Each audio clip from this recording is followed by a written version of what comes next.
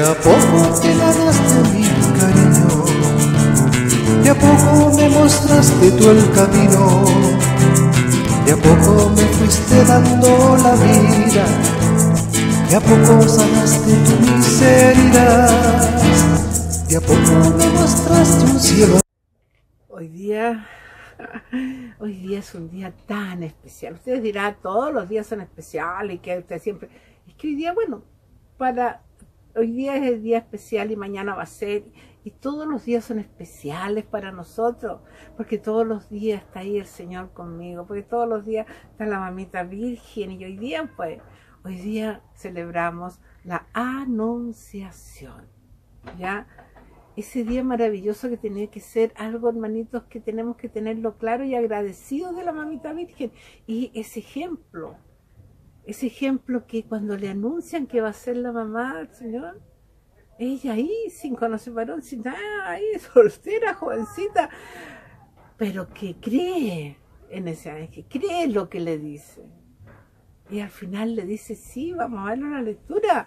Y le dice, hágase en mí según lo que tú has dicho. Y en ese minuto, hermano, hermano querido, cuando lo leamos, piensa que en ese minuto Jesús viene a la tierra a salvarte. Gracias a esa mujer maravillosa que nos dejó al final como madre. ¿Ah? Así que veamos en su palabra, veamos qué nos dice Lucas, Lucas que es el que nos habla mucho de la mamita virgen porque él estuvo y se cree, ¿no es cierto? Por ahí se dice que el evangelio de Lucas es el evangelio de la mamita virgen porque ella le contó todo, porque él no conoció a Jesús y ahí estaba con ella y ella le contó, contó y fue confirmándolo con los demás y escribió ese libro maravilloso. Y mira lo que nos dice en Lucas 1, anuncio del nacimiento de Jesús. El ángel entró donde estaba María y le dijo, Dios te salve, lleno de gracia, el Señor está contigo. Al oír estas palabras, ella quedó desconcertada y se preguntaba qué significaba ese saludo. Y el ángel le dijo, no temas, María, pues Dios te ha concedido un favor. Concebirás y darás a luz un hijo al que pondrás por nombre Jesús. Palabra, palabra de Dios, palabra del Señor, palabra, qué palabra más maravillosa, la palabra se hizo carne en ese minuto. Y aquí de nuevo, no temas María, no te asustes María. A ti te dice también, no te asustes. Acepta Jesús, acéptalo. ¡Qué maravilla!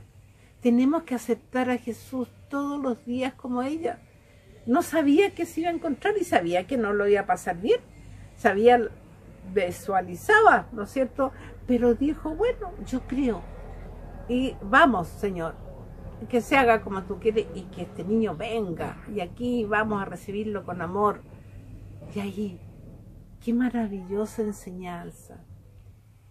Tú y yo todos los días repetimos los ojitos cuando abrimos. Señor, aquí estoy, entra en mí y vamos adelante. Qué maravilloso. Piénsalo. ¿Y cómo fue la vida de la Virgen? Claro, no lo pasó muy bien, pero triunfó con su hijo al final. Y lógicamente que nosotros en la vida no lo vamos a pasar bien muchas veces. ¿Y cuando no lo pasamos tan bien, hermanos queridos? cuando nos alejamos del Señor, cuando hacemos lo que Pedro hizo, cuando iba caminando por las aguas y caminaba con tormenta y a lo viste las olas para arriba y para abajo, pero él le dijo, Señor, quiero ir a ti, el Señor le dijo, ven. Y él empezó a caminar, pero mirando sus ojitos en el Señor.